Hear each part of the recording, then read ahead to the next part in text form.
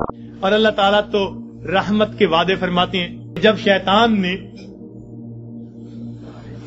बहकाने के लिए कस्में खाई और कहा कि अल्लाह, मैं तेरे बंदों को बहकाऊँगा, दाएँ से, बाएँ से, आगे से, पीछे से, वला तजिद अक्सर हम शाकिरीन, अल्लाह ये अक्सर तेरे नाशुक्रे होंगे।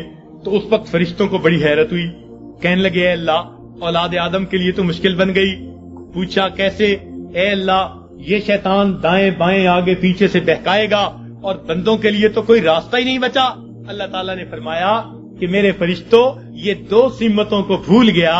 एक नीचे की सिम्मत एक ऊपर की सिम्मत मेरा गुनागार बंदा जब अपने गुनाहों पे परेशान होकर मेरे दर पे आएगा और मेरे दर पर आकर हाथ फैला देगा क्योंकि हाथ ऊपर की सिम्मत को उठेंगे अभी उसके हाथ नीचे नहीं जाएँगे मैं उसके गुनाहों को माफ़ फरमा दूँगा। और जब मेरा बंदा अपने गुनाहों पे परेशान होकर अपने सर को सजदे में डाल देगा, क्योंकि नीचे की सिम्मत से शैतान असरअंदाज नहीं हो सकता। मेरा बंदा अभी सर नहीं उठाएगा, मैं अपने बंदे के गुनाहों को माफ़ फरमा दूँगा। तो शैतान ने एक कसम खाई थी फब इज्जती का। अल्लाह तेरी इज़्ज़त की कसम मैं तेरे बंदों को बहकाऊँगा। अल्लाह ताला ने इसके जवाब में फरमाया, शैतान मरदूत तू कसमें खाता है मेरे बंदों को बहकाने के लिए, वरगलाने के लिए। जरा मेरी बात भी सुन ले कि मेरे बंदे बतकाजाए बशरियत गुनाह करते रहेंगे करते रहेंगे। अगर अपनी मौत से पहले पहले सच्ची माफ़ी मांगेंगे, फबे इज्जती व जलाली। मुझे अपनी इज़्ज़त की कसम, मुझे अपने जलाल की कसम, मैं उनकी तौबा को कबूल कर लूँगा।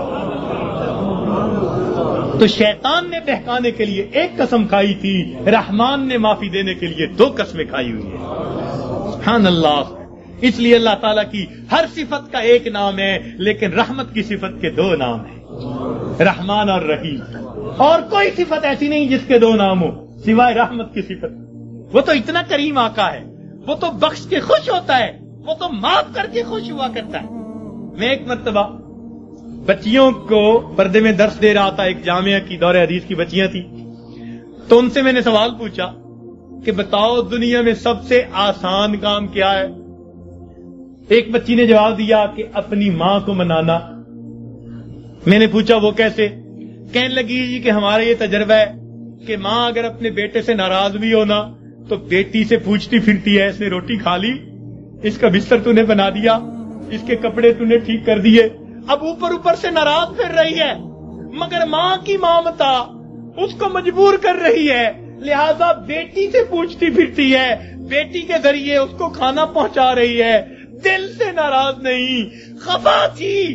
बच्चे ने सताया, मगर दिल से खफा नहीं। इसलिए पूछती भी फिर रही है कि बच्चे को सब चीज़ें मिल गई या नहीं मिल गई तो वो कहने लगी कि जब माँ की ममता का ये हाल है तो माँ को मनाना बहुत आसान होता है। मैंने कहा हाँ माँ को मनाना आसान सही फिर भी माँ के पास आना पड़ता है। बच्चा आकर कह दे, अम्मी, माफ़ कर दे। माँ माफ़ कर देती है। बच्चा आकर माँ का जिस्म दबाए, अम्मी, माफ़ कर दे। माफ़ कर देती है। हाथ जोड़ दे, माफ़ कर देती है। अगर फिर भी माफ़ न करे, बच्चा रो पड़े। माँ से कभी बेटे के आँसू नहीं देखे जाते। कितनी नाराज़ क्यों ना होगी? जब देखेगी बच्चा आँसू बाहर आए अपने दुपट्टे के पल्लू को लेके आँसू पूछेगी, कहेगी, बेटा, रो नहीं, चल मैंने तुझे माफ़ कर दिया। तो माँ को मनाना दुनिया में इतना आसान है। बच्चियाँ कहने लगी, मैंने उन्हें उस वक्त बताया कि देखो, एक और जात है जिसको मनाना माँ के मनाने से भी सत्तर गुना ज़्यादा आसान है और वो परवरदिगार आलम की जात है। माँ को तो फिर भी जबान से कहना पड़ेगा पाँव पकड़ने पड़ेंगे, हाथ जोड़ने पड़ेंगे, आँसू बहाने पड़ेंगे। एक परवरदिगार जात है, जिसके सामने बंदा तन्हाई में बैठा हो। फकत दिल के अंदर नादिम हो जाए, दिल के अंदर शर्मिंदा हो जाए और दिल में पुकारे, परवरदिगार गुनाहों की माफ़ी चाहता हूँ। मैंने सच्ची तौबा कर ली, अल्लाह मैंने सुलो कर ली, मुझे अपना बना ले, शैतान के पंजे से छुड़ा ले, कोई हाथ नहीं हिलाया। कोई उसने ज़ुबान से लफ्ज नहीं निकाला। फकत दिल की नदामत को कबूल करके अल्लाह ताला अपनी नाराज़गी को दूर फरमा देते हैं। तो अल्लाह रब्बुल इज़्ज़त को मनाना, माँ के मनाने से भी सत्तर गुना ज़्यादा आसान तो अपने रब को मना लीजिए। इबन कय्यम रहमतुल्लाह ने अजीब वाक्य लिखा। फरमाते हैं, मैं गली में जा रहा था। मैंने देखा, एक दरवाज़ा खुला। माँ अपने बच्चे को मार रही है, थप्पड़ लगा रही है और कहती है, तूने मुझे बड़ा जलील किया। बड़ा परेशान किया। ना फरमान है, कोई बात नहीं मानता निकल जा मेरे घर से। वो बच्चा रो रहा था, धक्के खा रहा था। जब घर से बाहर निकला, माँ ने कुंडी लगा दी। फरमाती है, मैं खड़ा हो गया, जरा मंजर तो देखूँ। बच्चा रोते रोते एक तरफ़ को चल पड़ा, जरा आगे गया नुक्कर से पहले वापस आ गया।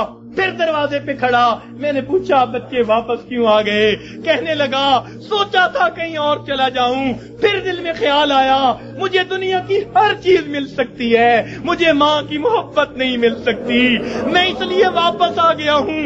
मोहब्बत मिलेगी, इसी दर से मिलेगी। कहते हैं, बच्चा बात करके वही बैठ गया। मैं भी वही बैठा। बच्चे को नींद आई। उसने दहलीज पे सर रखा, सो गया। काफ़ी देर गुजरी। माँ ने किसी वजह से दरवाज़ा खोला। ज़रूरत के लिए बाहर जाना चाहती थी। बेटे को देखा। दहलीज पे सर रखे सो रहा है। उठाया। क्यों दहलीज पे सर रखे सो रहे हो? अम्मी, मुझे दुनिया में कोई दूसरी माँ नहीं मिल सकती। मैं इस दहलीज को छोड़ के कैसे जाऊँ? फरमाया, बच्चे के अल्फाज से माँ की आँखों से आँसू आ गए। बच्चे को सीने से लगा लिया। मेरे बेटे, जब तेरा यकीन है, इस घर के सिवा तेरा घर कोई नहीं। मेरे दर खुले हैं। आजा, मैंने तेरी गलतियों को माफ़ कर दिया। फरमाते हैं, जब गुनहगार बंदा अपने रब के दरवाजे पे इस तरह आता है और कहते हैं, रब्बे करीम, मेरी खताओं को माफ़ कर दे, मेरे गुनाहों को माफ़ कर दे ए बेकतों के दस्तगीर ए दुखी दिलों को सुकून देने वाले ए गमजादा दिलों को तसल्ली देने वाली जात ए परेशान दिलों को सुकून बख्शने वाली जात ए बेसहारा लोगों का सहारा बनने वाली जात ए गुनाहों को अपनी रहमत के पर्दों में छुपा लेने वाली जात, तू मेरे लिए रहमत फरमा दे, मुझे दर दर के धक्के खाने से बचा ले, अल्लाह अपनी नाराज़गी से बचा ले, मैं सुलो करने के लिए हाजिर हो गया हूँ। परवरदिगार